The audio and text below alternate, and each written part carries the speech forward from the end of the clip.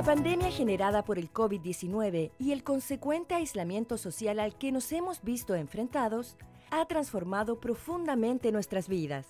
Las rutinas se han alterado, nuestras relaciones sociales se han modificado e incluso corremos el riesgo de perder de vista lo que da sentido a nuestras vidas. Dentro de las múltiples respuestas que se pueden presentar ante una situación como esta, es absolutamente esperable que sintamos miedo ante un eventual contagio propio o de nuestros seres queridos, ante el futuro en áreas de nuestras vidas como lo laboral, emocional, social. El miedo a volver a caminar por las calles de la ciudad con seguridad, volver a abrazar a los seres queridos. Imagina cómo será eso. ¿En qué se diferencia el miedo de la ansiedad? El miedo lo sentimos ante un peligro claro, definido, como el miedo a las arañas, o en este caso al contagio con el COVID-19 cuando nos enteramos que la persona que tenemos al frente está contagiada, por ejemplo.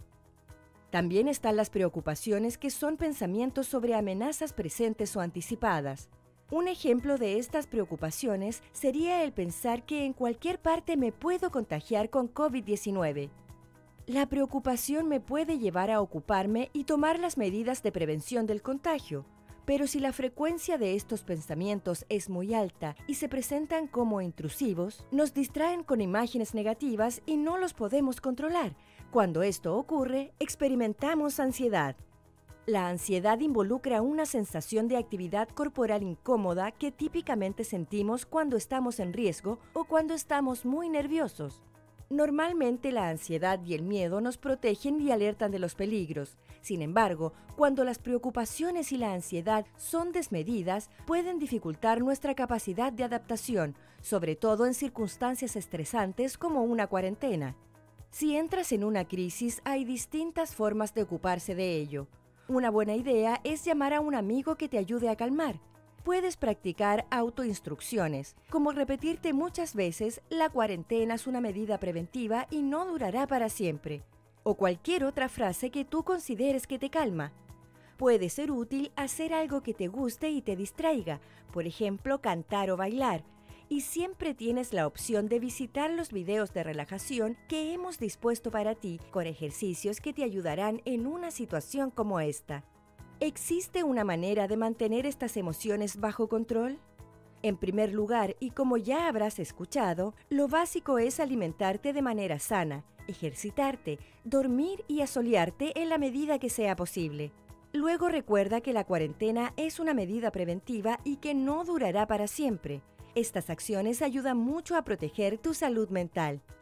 Otras recomendaciones que también pueden ser útiles para mantener a raya estas incómodas preocupaciones y la ansiedad que causan son mantener tu rutina y mantenerte ocupado.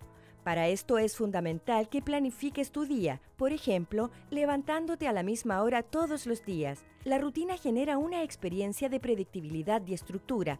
Eso nos ayuda a sentirnos menos ansiosos o más seguros. Mejor aún si escribes tu rutina en un horario, igual que tu horario de clases.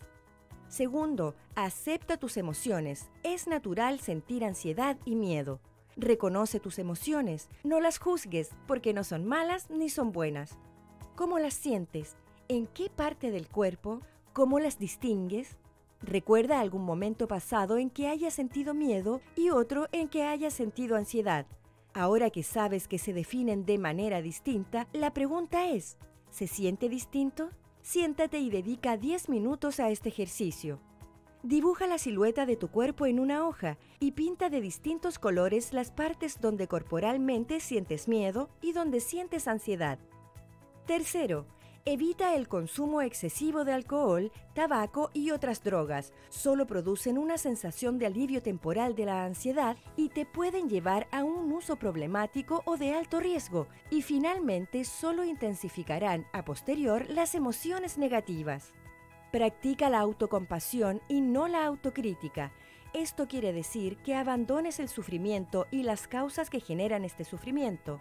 Las preocupaciones nos hacen sufrir. Debes comprender que son totalmente normales y que por lo tanto el camino es ocuparte. No les des cabida a estos pensamientos negativos en tu vida. Es difícil en estas condiciones. Sin embargo, depende de ti.